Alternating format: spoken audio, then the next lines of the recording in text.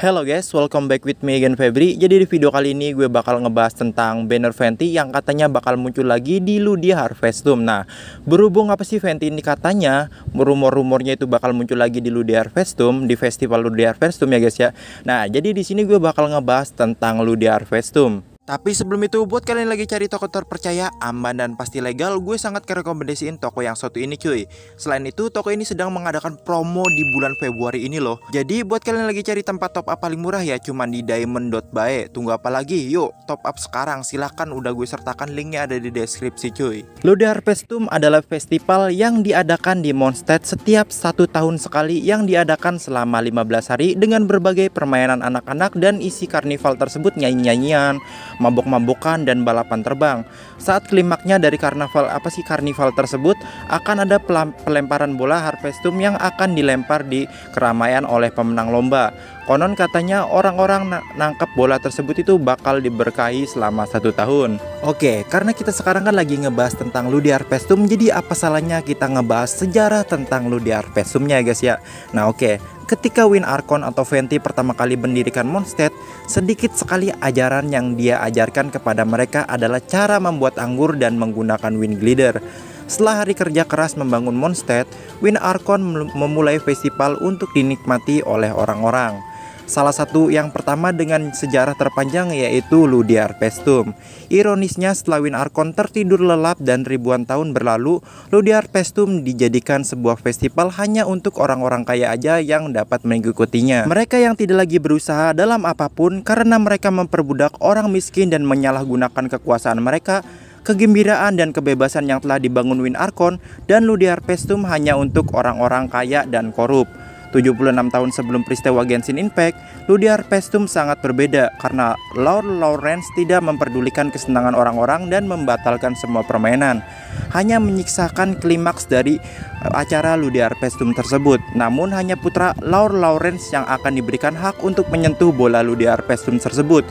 Itu karena siapa pun yang melakukan akan segera menghadapi siksaan. Tak hanya itu, putranya juga diberikan hak untuk membawa pulang gadis yang membuang bola Ludiar Pesum tersebut. Jika bukan karena Venti, mungkin Ludiar Pesum akan tetap sama seperti yang dulu guys. Jadi kejam gitu. Jadi orang-orang miskin itu nggak boleh ikut Ludiar Pesum. Satu tahun sebelum peristiwa Genshin Impact, saat kami melihat Kole menjelajahi Ludiar Pesum sendiri, kami juga melihat beberapa perubahan. Tidak diketahui apa gadis yang dipilih masih melempar Harpesum dengan cara yang dramatis. Namun gadis tersebut itu sekarang dilindungi dengan sihir dari pejabat Grandmaster saat mendarat. Kurang lebih gitu guys ya. Eh, ya kalau misalkan ada yang salah seperti biasa dikritik aja. Ya, kemungkinan besar si Venti bakal rerun atau apa sih muncul lagi di event Ludiar Pestum atau festival Ludiar Pestum ya, coy. Karena backstory Ludiar Pestum itu kan berhubungan sama Venti yang kemungkinan nanti banner Venti itu bakal muncul lagi. Ya, Venti itu adalah suatu apa ya? Uh, karakter bintang 5 yang menurut gue itu sangat OP banget gue di, buat dijadiin support kayak support TPS juga bisa sih. Ya, kalau misalkan menurut gue pribadi kalau apa ya? Venti itu bagus buat support guys ya kurang lebih gitu. Oke sekarang waktunya ke traktir. Jadi cerita dari lu, lu di Arvestum itu kurang lebih gitu sih. Ya semoga aja paham ya guys ya dengan penjelasan gue tentang lu di Arvestum. Oke sekarang waktunya ke traktir.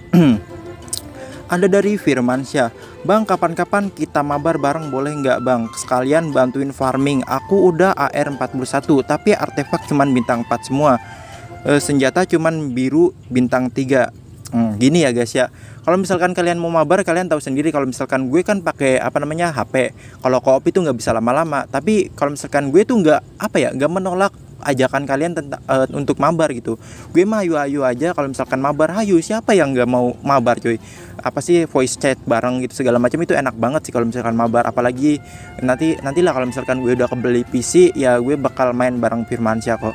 Dan kalau misalkan mau bintang 5 apa namanya artefak bintang 5 lu harus AR ke 45 dulu biar bisa gampang dapetin si uh, artefak bintang 5 itu rekomenda re rekomendasi banget kalau misalkan lu apa namanya uh, farming artefak itu di AR45 karena di AR45 itu lu udah bisa dapetin minimal satu AR apa sih artefak bintang 5 ketika menjelajahi domain kurang lebih gitu ya guys ya.